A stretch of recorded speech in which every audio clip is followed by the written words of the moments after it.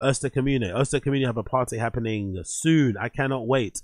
Eerste Communie, I was speaking about them earlier before.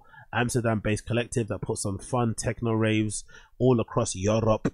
Yeah, mainly in Amsterdam and Berlin. They have another one happening in Amsterdam in October, which I am planning to go to. I know I always say I'm planning to go to things and never follow through, but this time I shall be there. I shall be there in body and in spirit. So this is October 20th to October 21st. I think it's for something called Amsterdam Dance Event. I'm not gonna lie, I'm not really too plugged into the Amsterdam scene, so I don't really know what Amsterdam Dance Event is. But according to them, it says we're back in Amsterdam next month for the most exciting time of the year. Amsterdam Dance Event will kick off with the Leven slang, and we'll keep what's that? We'll kick off at, kick off at Levy slang, and we'll keep the event going at Natch Bar on Monday. You might want to take off Tuesday so if I do go, most likely what I no if I do go, I am going. Sorry, in October. I guess I'll have to fly out when. I guess I have to fly out on the.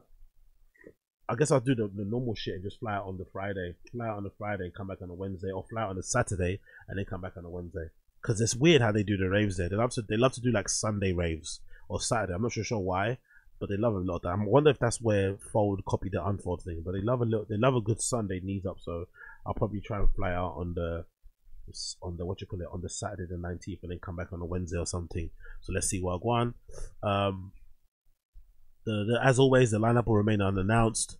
Um, expect an intimate dance floor and judgment-free atmosphere where the primary focus is on the music. Tickets available on the door, so it's going to be happening from days 12 to 4 a.m. at this place on Sunday, and then I think on the Monday um on this i think following okay cool. So that's the afters i guess. So this is the main event and the afters is going to be happening from five to eight on the end. So really looking forward to it. Can't fucking wait. Um big up blood clot um Eerste Communie. Really really want to go and experience their raves in you know irl i did miss the one that did in fold but that is a fold thing so you know i want to see it where they are based i don't want to go see it where they're doing it somewhere else so i'm really looking forward to going to check this out so if you are a fan of um, Rene Wise, if you are a fan of Marron, then I really recommend you give it a go because those guys will definitely be there, I'm assuming, and I can't wait to go see them play and kill it at their literal place where they fucking founded their thing. So yeah, really looking forward to that one. I'm not gonna lie, really fucking looking forward to that one.